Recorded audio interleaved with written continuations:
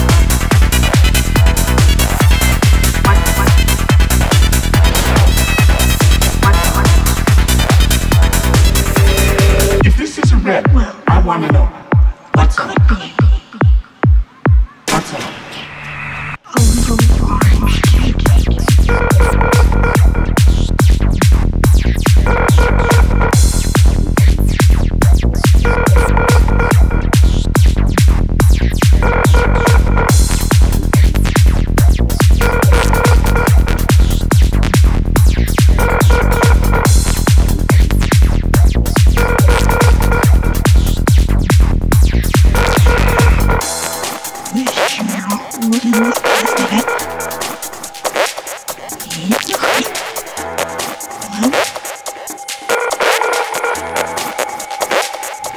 Để không bỏ lỡ những video hấp dẫn